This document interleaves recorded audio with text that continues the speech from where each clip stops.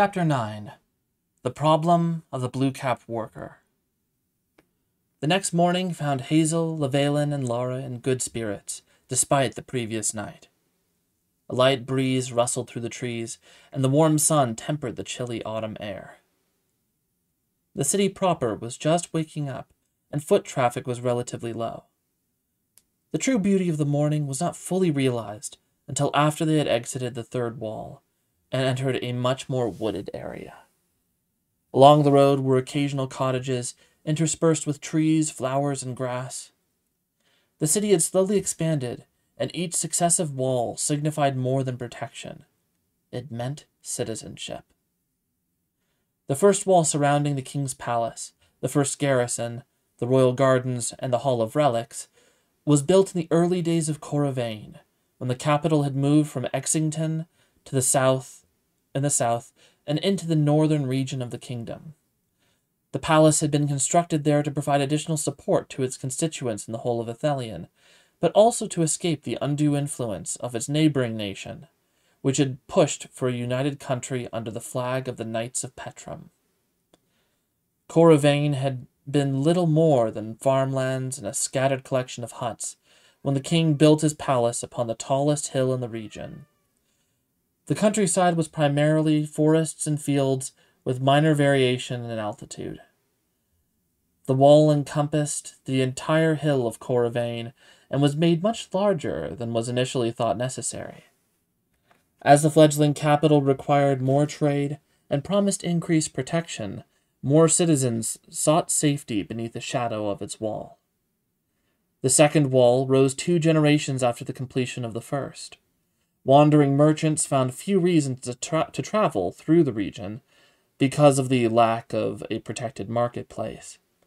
Recognizing the need for growth, the king constructed another wall, which brought in permanent businesses and became a location for markets and trade. Farmers sold their crops within the safety of the wall, and travelers found rest for the night.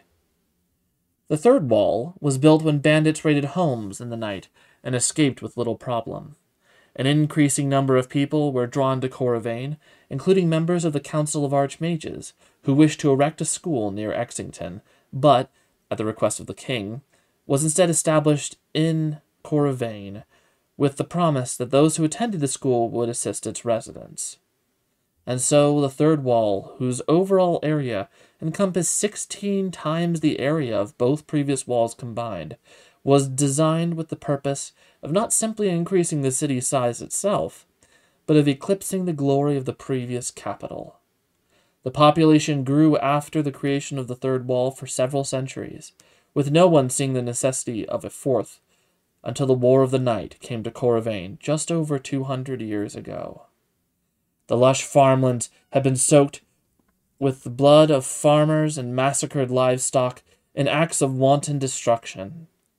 The king had lost his son three miles from the third wall. In his grief, the king vowed to protect his people by building a wall where his son had been found and surround the city. Such a project was ambitious to a degree that required multiple generations to fulfill. The meaning of each wall changed over the years, Hazel's teachers in school taught her. The first wall was viewed as part of the palace itself. The second wall had become more affluent in time, with increased security and low quantity of land. The third wall represented the people and the university. It was the hub of trade and the primary area through which the main road ran. It was varied in its makeup, with some loud and bustling areas, while others were nearly empty and quiet. It had greater connection to nature than the inner two walls, while still being safe from predatory animals and bandits. So, what did the fourth wall mean? With the conclusion of the War of the Night almost a hundred years previously, many questioned the decision to continue construction on such a time consuming venture. The citizens had many ideas, and while a few supported or opposed, the wall's construction, their opinions hadn't changed the outcome. As Hazel walked in this lush countryside, she wondered if the creation of this wall would change the peaceful scenery. She had learned a decent amount of the city's history from her school, and she knew the third wall had once been just as connected to nature. Some areas were more heavily wooded, and a small river flowed through the eastern side of the city, which helped maintain a natural appearance. She'd seen more buildings rise within the third wall, when none thought it could ever become so populated. In her mind, this fourth wall was ambiguous in its implications. The walls could be seen as embracing the landscape or surrounding it. It could seek to trap and stake its claim on the land, or it could make the city itself more natural without compromising its safety. Like most subjects these days, she didn't know how she felt about the matter. The same apathy which existed in her, in her prevailed even now. She thought her old self would have felt strongly about the wall and been angry or perhaps fearful that the wall would destroy something she enjoyed spending so much time in but at the moment she doubted even a massive fire would have excited much care in her. The further they traveled along the road, the fewer the houses became. As they walked, Laura occasionally commented on the landscape and how it compared to Trelland, or regaled them with a lively story of a previous fight. Llewellyn remained unaffected by either the werewolf stories or by the beauty of the day. He'd spoken hardly a word since leaving the library, although it didn't seem to be linked to any foul mood. Llewellyn left wearing a hood and a scarf to cover his appearance while he was within the third wall. While the rising temperature made wearing such garments uncomfortable, late autumn was often still warm in Coravain. It was only once they were well beyond the third wall that he removed his scarf. His garments, Hazel noticed, were primarily in subdued tones of gray, though the cloak he wore appeared to be an exception, as it was dyed a deep shade of green. Llewellyn, I have a question, Hazel said. Yes? I know you're gifted in magic, so why not use magic to disguise your appearance? Llewellyn looked at her for a moment.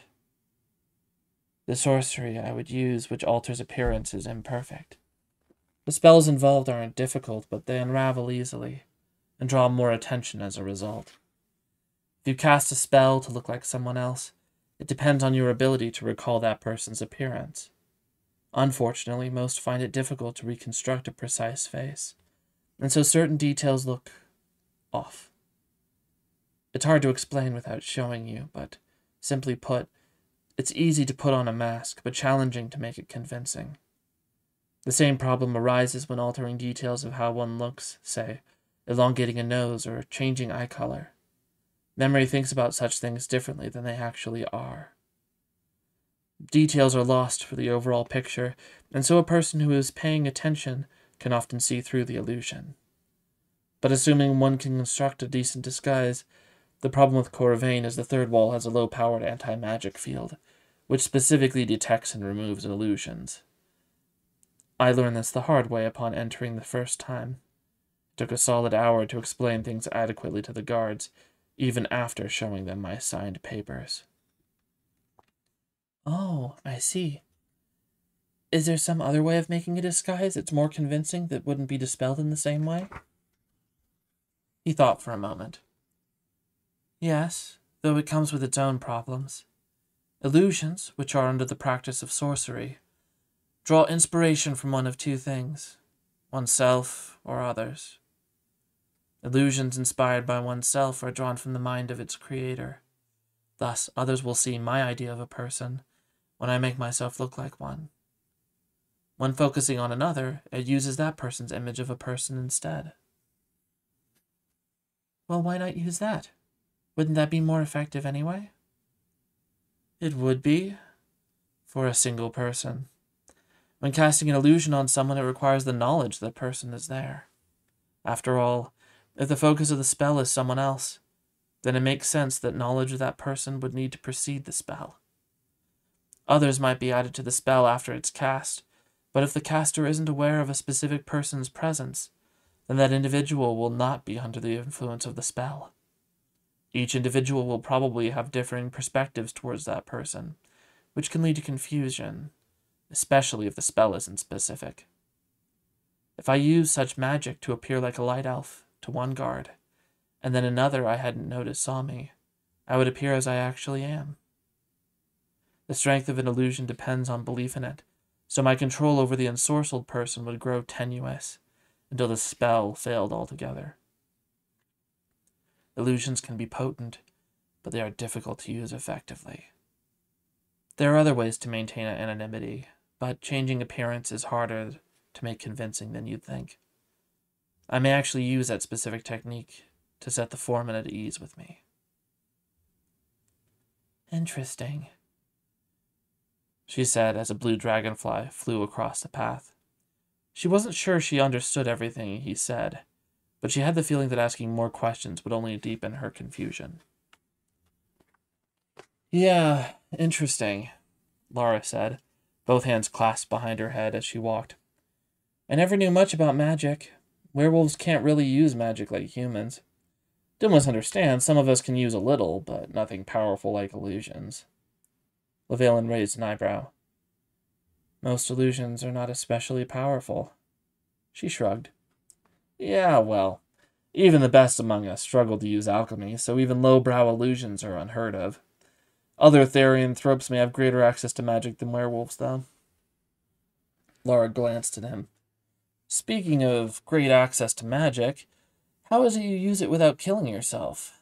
I heard warlocks practically explode when they just think about casting a spell. His expression hardened. Many years of rigorous training in meditation. Not everything you've heard is true about warlocks, even if some of it is. He tilted his head. It sounds like we're approaching our destination. Hazel listened, but heard nothing beyond the sounds of nature. It was another minute of walking in silence before she heard the scrape of pickaxes in the distance. After leaving the main road, they headed west of the northern gate. They journeyed through the grass and trees for a few more minutes behind Lara, who noticed evidence of people creating a natural path in the direction Llewellyn heard noises. A large clearing opened, revealing piles of gray stone, gravel, dirt, and a large square yellow tent about 50 feet from the tree line. The site sounded busy with the clang and scrape of industry, and yet there was no evidence of carts, horses, or tools Hazel could see at this distance. As they approached, she noticed dozens of wheelbarrows, chisels, and hammers littered the area, but each tool was too small to be used by a young child. Hazel turned to a companion to ask their thoughts when she saw the puzzled look on their both their faces. Apparently, they were as lost as she was. A wavering blue blur rushed between them, chattering like an agitated squirrel, before darting into the tent. It resembled a tiny blue flame. What was that? Laura said, looking around wildly. What?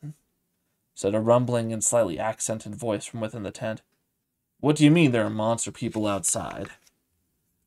The same wild chattering responded incoherently. No, no, yes. I understood the words you were saying, I just don't know what you mean by them. Huge? Do you mean dragon huge or regular sized human huge? Ugh. Look, just because they're new doesn't make them a threat. And no, you're not being replaced. I. Oh, for the love of Tavik, I'll just see him myself. The tent flap op- moved aside to reveal a dwarf with a dark brown beard braided short. While he was shorter than Hazel by several inches, his broad shoulders and thick, muscled arms gave him a physically imposing presence. His frame was nearly square and reminded Hazel of a barrel. He wore a brown apron over workman's clothes and had a long piece of charcoal behind one ear. A hammer hung from his tool belt, along with a chisel and various other implements. He swiftly appraised them and smiled amiably. Am- amiably. Welcome, strangers, he said warmly. What can I do for you today? Uh. Laura looked at Hazel and Llewellyn as if requesting permission to speak. We are with the Evenfall Vigil. We were sent to talk with. with me. He rushed forward to shake their hands. Yes, please come inside. It's a pleasure to meet y'all. I'm Riglin Carstaff, chief foreman of the Fourth Wall. The group entered the square tent to find a few wooden stumps which served as makeshift chairs, with blankets on each. The tent was 10 feet on a side and a few feet shorter. At the back of the tent was a desk with notes strewn across it and a map of Ithalian, along with a more specific map of Coravain. A few barrels were off to the side, along with some stacked books. I hope you'll forgive the mess, Riglin said, indicating the seats they could take. But I work better in clutter. I'd offer you a drink, but I don't have any additional cups, and the workers, well, their portions would be more annoying than anything. Who are your workers? Hazel asked, taking a seat. Oh, you didn't see him? No, Laura said. Or we might have seen the blur of one. Oh, right. Well, I'll have you meet the one who saw you. It's rude he didn't introduce himself. Zigglepet. The same blue blur darted past them from a hiding place within the tent to rest on the desk of the dwarf. The creature wavered in place like a blue flame, hovering just eight inches above the desk. The same fierce chattering issued from the little flame and was directed at Riglin. Yes, I know, Riglin said as if trying to pacify the creature. They're big, very big, bigger than me even. I could see why you'd be worried, but no, hold on. Stop, Zigglepet, just stop, damn it. The creature stopped chattering for a moment. That's better.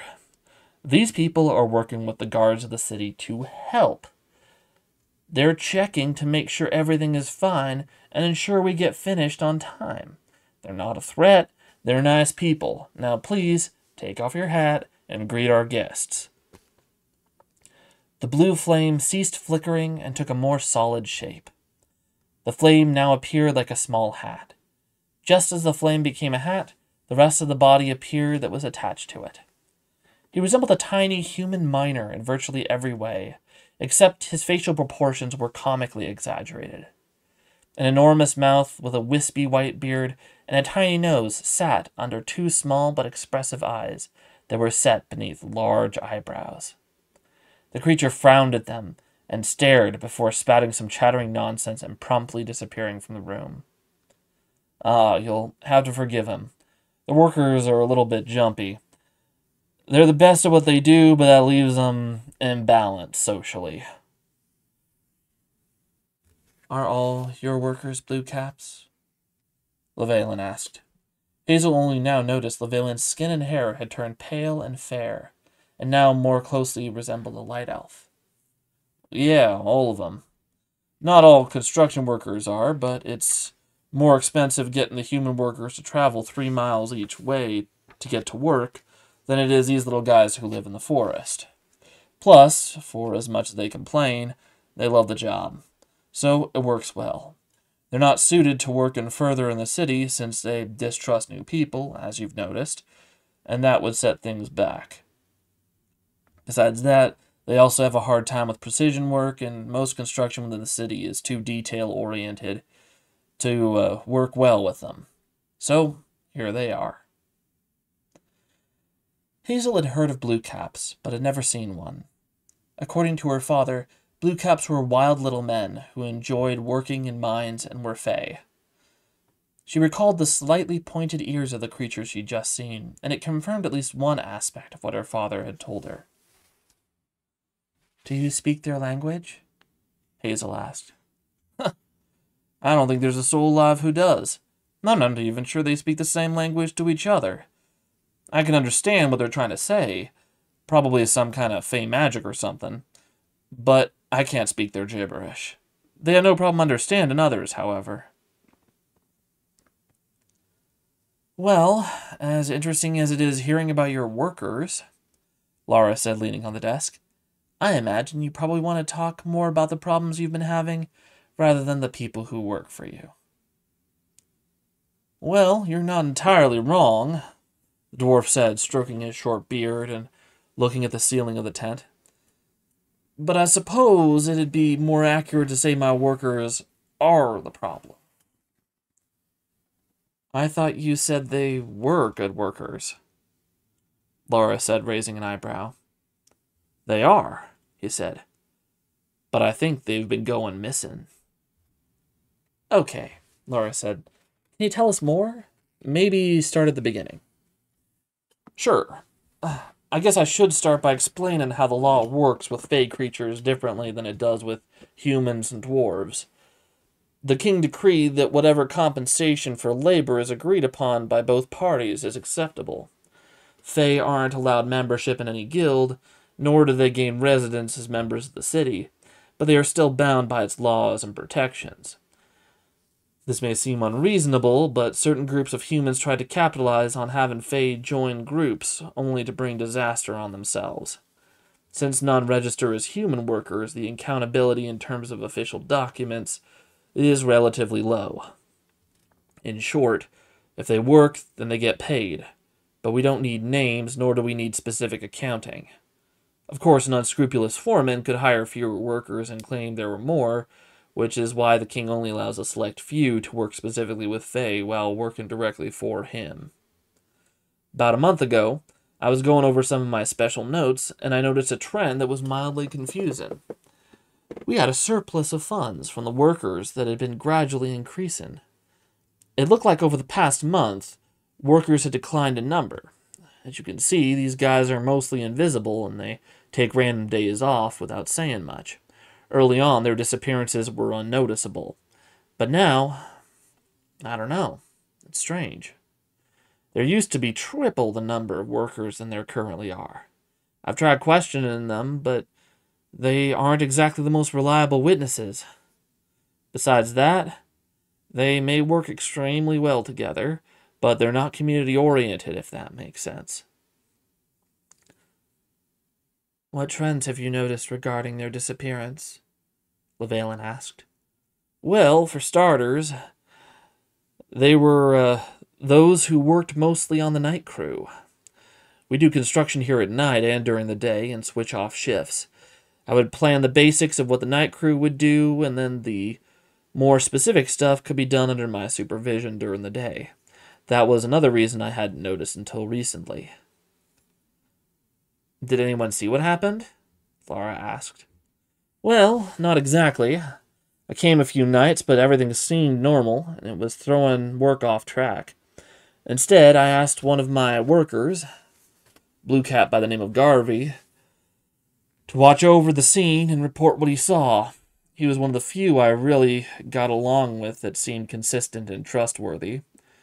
After that night, I hadn't seen him again. The dwarf rubbed the bridge of his nose. I contacted the king about this, and he stated progress was still important, and he'd send some members of the Evenfall Vigil to look into it for me. I take it he meant you three. Four, Hazel corrected. Our fourth member has a hard time in sunlight. Riglin squinted at her. You're a pretty strange bunch. What exactly makes each of you so special, if you don't mind my asking? Lara pointed at each person as she answered. Werewolf, green girl, half elf, and the other's a vampire. Riglin whistled and sat back in his seat. Well, when the king sends for help, I guess he doesn't waste time. I'm glad y'all are here. I'm not much of a detective myself, but I can show you the area and give you some of my conjectures if that helps. They all agreed, and the foreman led them outside and showed them the work site. Because of the swift constructive capabilities of the Blue Caps, the site was recently established. Trees had been cleared away 20 feet on both sides of the wall, and the lumber was stacked close to the inner tree line. Little flickering blue caps rushed back and forth with small wheelbarrows, or occasionally lifted massive stone blocks which were far bigger than any of the small creatures. What the creatures lacked in communication skills, they more than made up for in efficiency. The entire process ran like clockwork, with each worker never hesitating to do its job or waiting. It looked even stranger to Hazel, given that each worker looked exactly like a small blue flame. The foreman would occasionally stop to inspect the work and offer a suggestion or request a change that would be implemented quickly and with little protest. Riglin appeared simultaneously laid back and enthusiastic about his work. It was clear to Hazel that the success in the wall's construction was due in no small part to the foreman in charge. Unfortunately for you investigative types, I haven't found much. I've seen some animal tracks, usually deer, cats, or maybe a wolf, but few things are out of the ordinary. Laura sniffed. Have you come across any sulfur deposits while you were searching for bedrock? Riglin frowned. No, no sulfur. Why do you ask? I smell a faint trace of sulfur in the air. She explored, following her nose. It's mostly around this section of the wall, actually. Really? The dwarf said, sniffing the air. I don't smell anything. True, but you're also not a werewolf, Llewellyn pointed out. I don't smell anything either, but I'm willing to trust Laura on this. Riglin, have you ever come across sulfur when working on the wall? Never. Well, Laura said, maybe we'll find the sulfur source while we're here too. What time does the shift usually change? The day workers are usually done around 7. If y'all could be here around that time or slightly after, I'd be most appreciative. Llewellyn had been muttering to himself, and a small swirl of smoke appeared between his palms, shifting color before settling into a dark green with occasional faint red ribbons. Tell me, he said, have you had any spellcasters use magic in the area? No, not that I can recall. Mostly it's just the blue caps. Hmm. Yes, I can sense their magic, but there's something a little different that's go- that's difficult to pinpoint. He scrutinized the swirl of smoke and fixated on a small part of sparkling burgundy. That red bit represents something different from the blue caps. It's something a little more sinister. Possibly fey, but the trace is weak. Which means either not much magic was used, the creature covered its tracks, or the use of magic happened a while ago. He stared at the smoke for a few moments longer before clapping his hands together and dispersing it. We'll be here tonight to patrol. Until then. He gave a curt nod and left the foreman. Laura glanced back and forth between him and the dwarf. Uh, I, uh, I guess we'll see you later. As she followed Llewellyn. Hazel hesitated. I have a question for you, Riglin. Certainly, he said, walking back into the tent. How have things changed with your workers in the past few weeks? Were they always so jumpy about visitors? How have they been feeling? Riglin sat back, stroking his beard. You know, they have been a little sullen lately. I figured it was just weather changes, honestly. They get a tinge melancholic in the autumn. As for visitors, they're usually cautious, but they have been quicker to report disturbances to me than normal. Is there anything. Hazel searched for the right words. Is there anything that could catch them? Or any predator that might want to eat them? Riglin's brow creased as he considered. That's a curious question. Truth be told, I don't know of anything as fast as they are, and their invisibility would be difficult to circumvent. But now I have a question for you, miss. Why do you ask? Hazel averted her eyes and thought. I guess it was just a feeling. All right, then, Riglin said with a reassuring smile. Thank you for coming, Miss Hazel. She smiled back. Miss Hazel. I look forward to seeing you and your associates again soon. Hazel hurried to rejoin them. Laura rushed after Llewellyn and berated him for leaving so abruptly. A couple hundred feet from the site, Llewellyn stopped and gazed at Hazel with that same impassive expression she was growing used to. What is it? Hazel asked. You didn't tell the, him the truth, Llewellyn said. You saw something, didn't you? What do you mean? Laura interjected. We were both there. There's no way she would have picked up on something that neither an elf nor a werewolf could sense. That's true, Llewellyn said with a nod, though his attention was still on Hazel. Except Hazel knew something about what was happening to the Blue Caps before she even came here. Wait, re- what? Really? Laura exclaimed, glancing between them. You're right, Hazel said, meeting his gaze with her own calm expression. I didn't want to tell him about the dream I had last night. My dreams don't always make sense, but I felt like somehow it was connected to this. It might not be real. Besides, the dream didn't make much sense. I didn't think you'd understand, especially since I don't understand it, and it was my dream. I see, Llewellyn said. You withheld information which could be detrimental to someone without the ability to comprehend its true meaning. You made a responsible decision. I wonder why you didn't tell us, however. I still don't know which dreams are worth mentioning and how much of each might come true. Some dreams I have are pretty weird. Besides, I didn't remember my dream until I saw the blue caps working because they reminded me of these little blue fires I saw. Well, Laura said before Llewellyn could reply, I think if your dream has significance, you should tell us all about it with Alistair here. I may not be his best friend, but we should all be on equal footing. You can tell us about your dream after we brief him on what we've discovered. I must reluctantly agree, Llewellyn said. Much as I wish to hear more, it'd be best to discuss this back in the library. Perhaps I should start educating you on your dreams, Hazel. After we've spoken with Alistair, your first lesson will begin. Really? Hazel said with faint surprise. You want to start today? Of course, he said, turning from her with a wan smile. There's no time like the present to learn about the future.